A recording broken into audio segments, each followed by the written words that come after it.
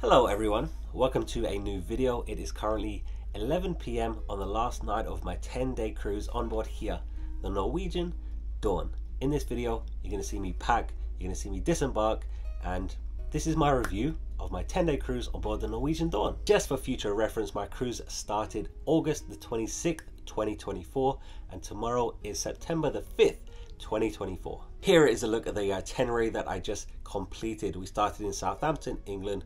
We went over to Dublin and Cork in Ireland. We went to Le Havre, France, Zeebrugge, Belgium, Amsterdam, Netherlands, and we are disembarking in Copenhagen, Denmark tomorrow. I filmed a video every single day, so if you want to go and watch that series, then go back because I had so much fun. Every single port was amazing, the ship is amazing, itinerary is amazing. I do have a few negatives, but we're going to talk about it all in this video. I'm also going to be packing during this video. This is my level 8 suitcase. This is the highest quality suitcase I've ever had in my whole life. Right now with my link you can save 15% on your next purchase from level 8. Their website is full of travel essentials, all the highest quality. The customer service is great. I love these suitcases. They come in all sizes. Doesn't matter what your trip is, it doesn't matter where you're going. Level 8 has you covered. So click my link in the description to get 15% off right now. I absolutely love my level 8 suitcase. I love the zips inside to keep the sides separated. It has a combination lock, quality wheels, amazingly strong handle. I highly, highly, highly recommend level 8. All right, so let's talk about the Norwegian Dawn. It's pretty old because a few months ago I sailed on the Norwegian Prima and that is like two years old. The Norwegian Dawn is 22 years old. You can definitely tell. The first thing that I noticed in this cabin is you know, when you enter a cabin or a hotel room, there's no space to put your key for electricity. So that was the first sign that this cabin is pretty old. The next sign is outlets. These are the only two outlets in the whole cabin. We have one US and one UK, and that's it. I don't see an old ship as a negative. It's still a beautiful ship. Don't rule out an older ship or a smaller ship when you're choosing your next cruise. You don't always have to go with the newest ship or the biggest ship. Sometimes you're to have a better experience on the smaller ones and the older ones. If you looked at the ship from the outside, you would say, wow, it's huge. No, the Norwegian Dawn is tiny compared to the mega, mega, mega ships that they have today. 3,000 passengers on this ship.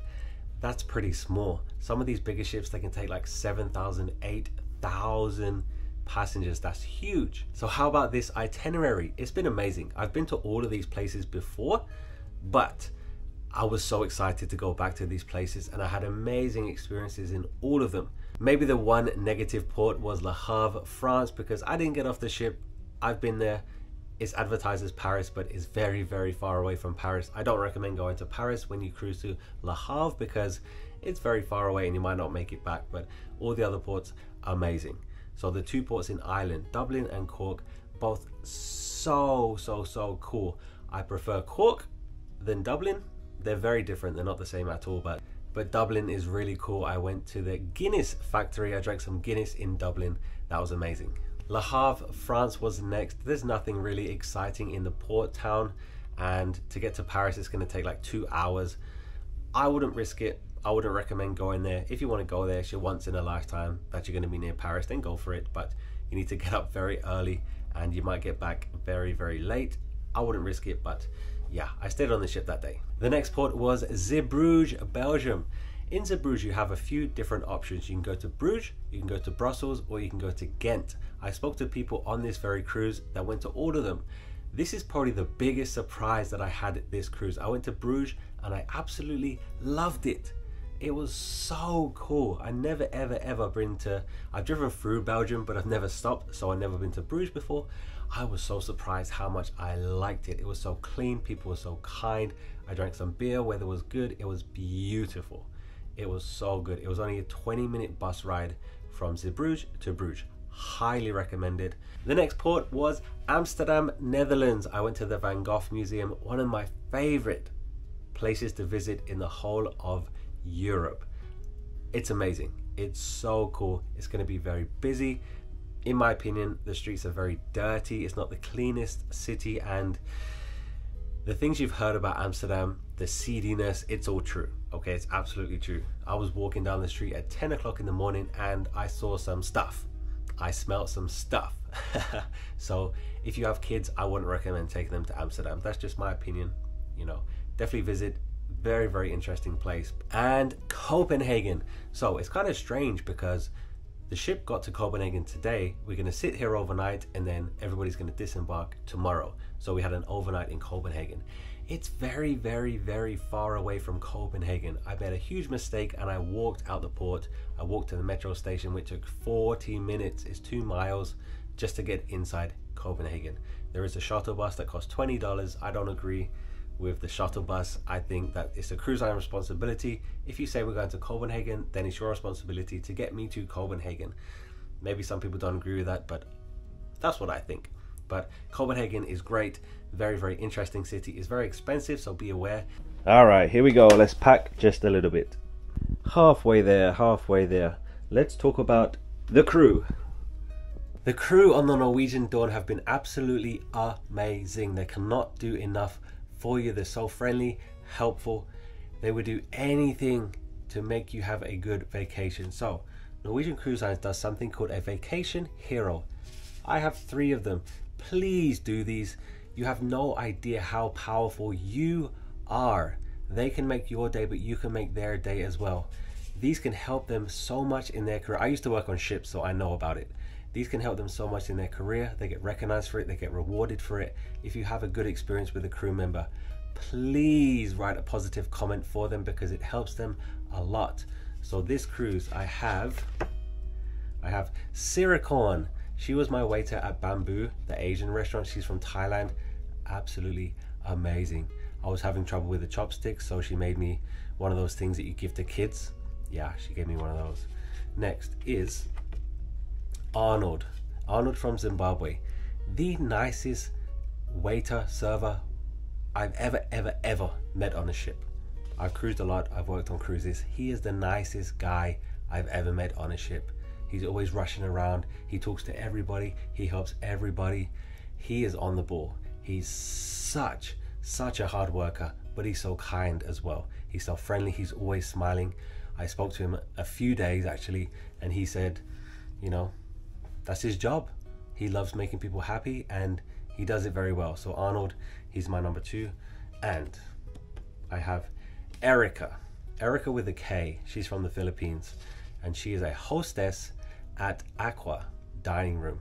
And I've spoken to her probably more than any other crew member. She is so friendly, so kind. She's always happy, always smiling. And she's she's just amazing. Erica with a K, with a K. And yeah, so they're my three vacation heroes. I'm going to show you what you do with these right now. Let's go to the atrium. So my cabin is 5567. Let's take a walk.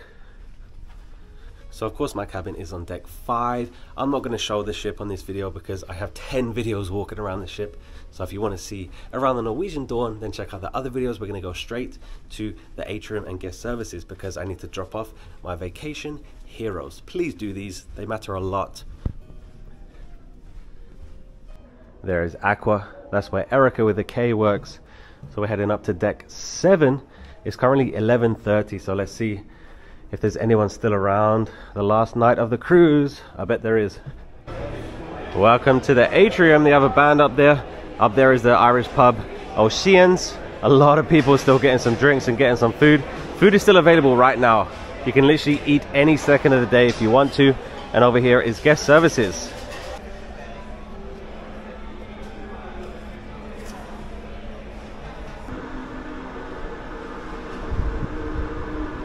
Right there is Copenhagen. Actually, Copenhagen's way over there. But I can get off the ship right now because we are docked here all night.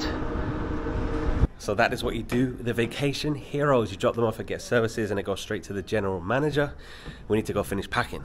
So there's no doubt about it that this ship is older. But like I said, that is not a bad thing because does it look older? Yeah. You can definitely tell that it's not modern, but absolutely no complaints about this ship. Atrium's beautiful, pool deck, restaurants, everything. is amazing, even though it's over 20 years old. Like I said, I'm not going to walk around the ship in this video. I did plenty of that during the last 10 days. Next, I just want to quickly talk about cruising solo. So of course, I'm cruising solo. This whole cabin is for me. I won this at a solo gathering trivia. There are, I think, maybe 30, 35 solo travelers on this cruise, and every single day in the schedule, there is a time that all the solo travelers come together if you want to and just chat, talk about your day, play some games, and that's it. So if you want to be alone, then be alone. But if you want to meet other people, 100% you can do that. So if you're worried about you're going to be lonely, you won't be. Like I said, if you want to stay alone, great. If you don't want to, then great. Just go for it. Life is too short.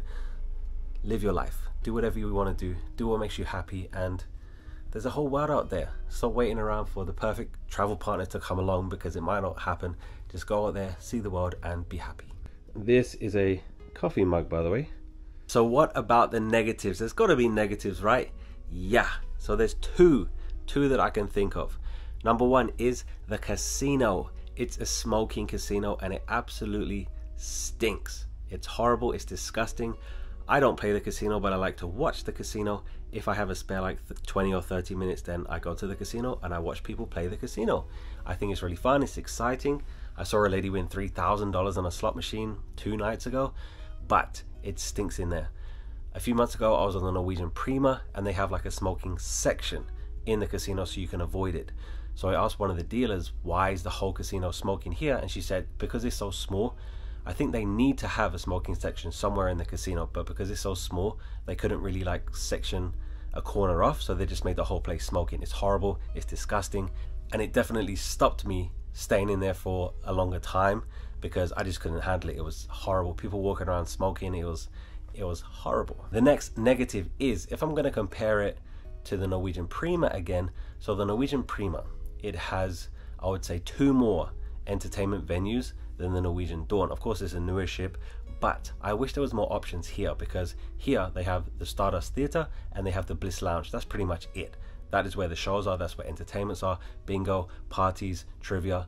But the Norwegian Prima, they had a comedy club where they had trivias and game shows, whatever. And they also had another bar that was called Syd Norman's. So they had shows in there, they had a regular band in there. So there's always more than one option, sometimes two, three, four options. But here, there's pretty much only one option for entertainment. Apart from live music here there's live music everywhere. There's three or four different venues that you can go and see live music any second of every single night. But in terms of show there was always one option. And I just wish there was more options of places to go. But small ship, not complaining, but it is a negative if I'm comparing it to the Prima, newer ship, but more options would have been better. So it looks like I have a few more things to do, and then that's it. I'm ready to disembark the Norwegian Dawn tomorrow morning in Copenhagen, Denmark. You're gonna see it, I'm gonna film it all the way to the airport. So that's it. I'm gonna finish this off. I'm gonna go to bed, and I'll see you tomorrow at breakfast. Good night.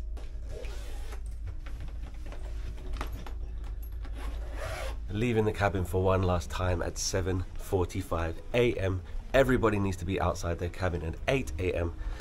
Let's get some breakfast.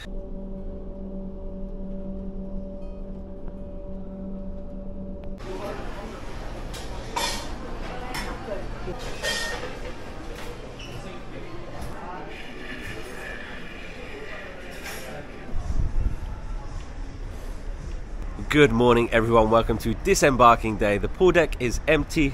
There's a few more people still finishing their breakfast in the buffet, and it's almost time to get off the Norwegian Dawn. I need to make it into Copenhagen today for my flight. So I would say like 90% of people check their luggage in, they got a luggage tag, and then they're going to meet their luggage inside the terminal. And they've been calling colors all morning. They started at 5:15 this morning. It's currently 8:15, so people have been getting up for the last three hours. But I think they've called everyone now.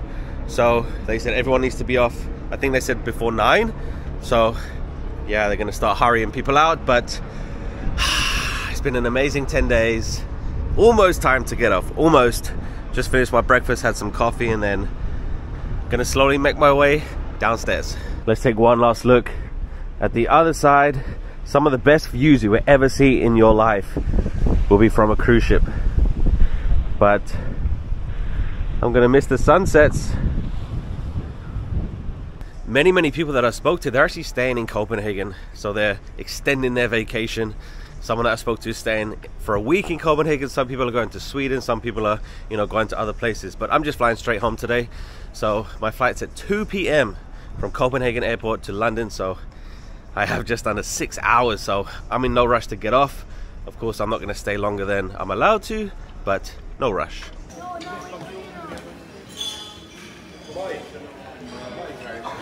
No more dilly-dallying. Let's disembark the Norwegian Dawn. So sad. Shall we see the theatre one last time?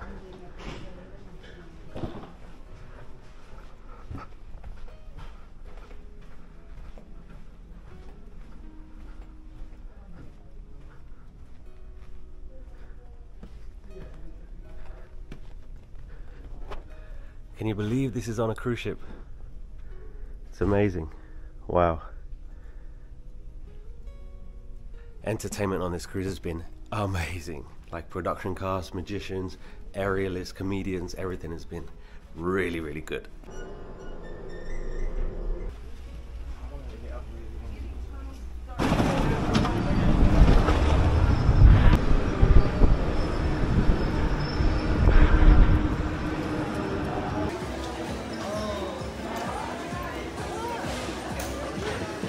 The longest taxi line I've ever seen in my life. Geez, those people are going to be waiting a long time.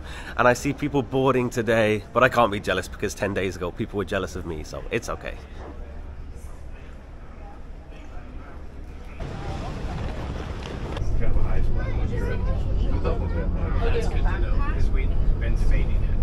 That was so much easier than the walk I did yesterday. So this is what happened. So I step outside the terminal and there's a bus right there, number 25 bus. I didn't see number 25 yesterday, I saw number 164. But then the sign says metro station. So I was like, can I buy a ticket here? And then it was like, just scan the QR code. I scan the QR code, it doesn't work. So I'm like, ah. Oh. So I get on the bus. I was like, can I buy a ticket from you, like to the driver? And it was like, yes, but only cash. It's like, I don't have Danish crowns. They don't use euros here. It was like, oh, we can take euros as well. I was like, yes and then I tell her I'm going to the to the airport, and then she just sells me a ticket all the way to the airport so I can use it on the metro as well, five euros. If you watched yesterday's video, I walked that journey because I couldn't work out the bus, it was a nightmare, but I'm gonna wait just a minute because the people on that bus, they were bitching at each other and I don't want to be on the metro with them, so I'll take the next metro, it's okay. It is currently 9.15, I have plenty of time, so they can have that metro. That bus driver was super helpful, she was so kind. Like, I said, "Oh, I'm going to the metro station." She could have just sold me a ticket to the metro station, but she was like, "Where are you going? Like, you going to the city?" Like, and I was like, "I'm going to the airport." She was like, "Oh, I can sell you a ticket right to the airport, like just to save me, just to save me some trouble." I like people like that. Help someone out. I really, really hate cities that don't make it easy for tourists to use public transport. It should be easy. I don't want to download an app. I remember I was in one city. I don't even remember which country it was, but you have to download an app and then add your credit card and then add some money. Like, that's the only way you can buy a ticket for the bus. It's like, what? I'm gonna be here for one day. I don't want to download an app just for one day. Just let me pay cash on a bus, please. Or just a debit or credit card. It's unbelievable that countries still don't have contactless payments. makes it so much easier for tourists. One metro just arrived there, but I'm not gonna take it. Those moaning people can take it. They're just bitching at each other for no reason. Just like this, it says scan for public transport. It says it's fast and easy. No, it's not if you don't have data on your phone. And no, it's not if you can't yeah, don't do that. Luckily there's a machine upstairs you can use card and cash.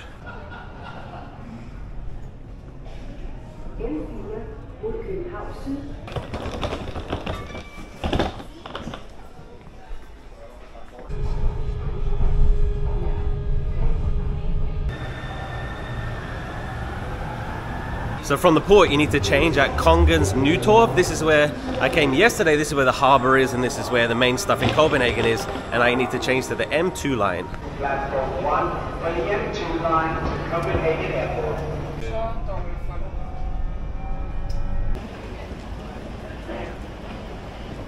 Welcome to Copenhagen Airport. Do you know what the sad thing is? Number one, is some of these people are probably going straight to the ship and they're going to be cruising tonight so I hope they have fun because I had so much fun. And the second sad thing is now I need to pay for food. I had so much fun. I hope you enjoyed watching these videos. That's the end of the series. Let me know what you think. Please write me a comment and hopefully the next cruise is just around the corner.